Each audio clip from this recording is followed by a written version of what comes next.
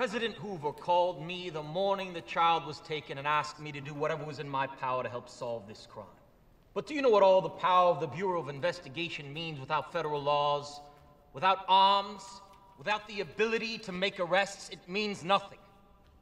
Mr. Chairman, I urge passage of the Lindbergh Law, making kidnapping a federal offense, to immediately deliver all the fingerprints in this country to my office so that we may create a central file to help arm our agents so that they have a fighting chance against the submachine guns of some of the most dangerous characters in the history of American criminality. And I urge you to do this in the name of little Lindy.